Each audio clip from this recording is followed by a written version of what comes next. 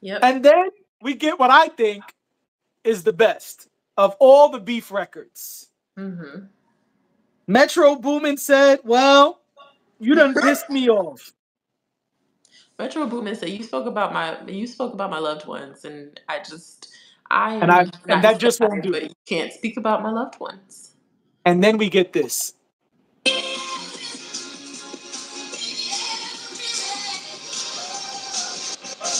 BBL Drizzy. BBL Drizzy.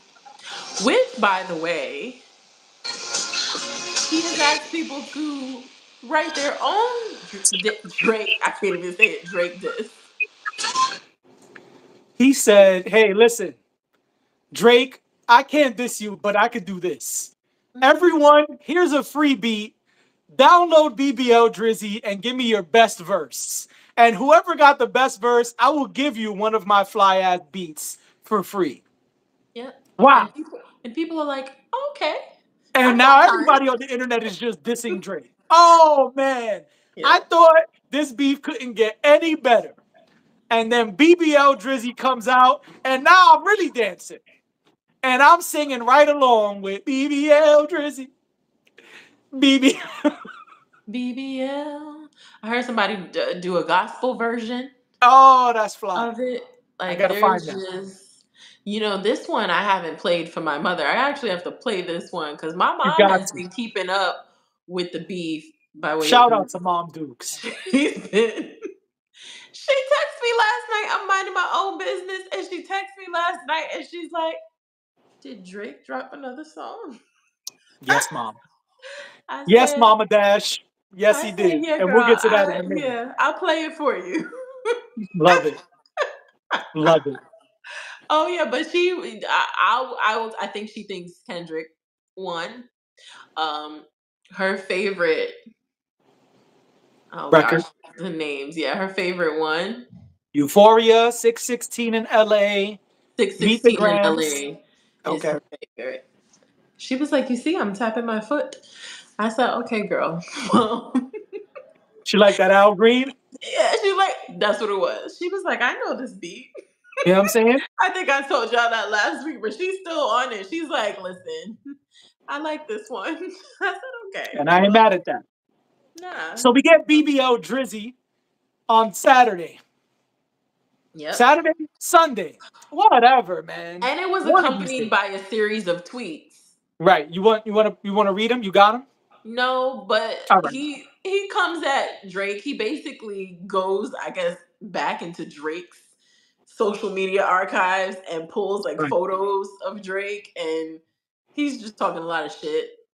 Um, this went on for a while. There's like a series of tweets. Yeah, yeah. Metro Boomin. Was upset, and Yeah, uh, he made upset. sure to say, "I'm not even gonna tell people the real reason I don't bang with you because it would be bad for both of us." And that's what's wild to me. This is where it's like, okay, listen, I said, well, now what the hell happened? what happened? right? In the words of my tell me? daughter, right? In the words of my in daughter, ear. Just whisper did- it in my ear real quick. what did what did this guy do? What did Drake do? Oh, well, Drake did a lot of things. Now, I don't know exactly what Drake did, but the answer to Right. the question is Drake did a lot of things. Drake Drake doesn't appear to be a good friend. Uh, Um, right. I don't know why. I don't know what he did exactly, or maybe it is just some egregious shit that he does on his own or with his people that people don't Right. want to fuck with. I don't really know. But all Right. I know is that Drake did something. You can't have that many people having it out for you Right, unless you did something to piss people off. right. And man, Metro Boomin said, I wasn't even really gonna go in on you. No. The drum shit was cool, but now you're getting a little out of line. he thought it was funny. So I'm gonna give away a dope ass beat, and I want to say, man, it's nice to be rich and have resources. Because as an artist- As an artist, I can't even get a, a singer to the studio to save my life. If you mm-hmm. was like, "Hey JD, we're gonna kill you if you don't get an artist to go sing something in the studio tonight," I'd be like, "Man, just take me now mm-hmm. because this is where I leave you. this is it. I'm going on vacation, y'all. I'll see y'all later. It's over for me. And Metro Boomin got somebody in the studio going in. going in with the vocals. And he went in with the beat. The beat changes a few times. There's a section that's just claps. he went in. I said, man, this is awesome.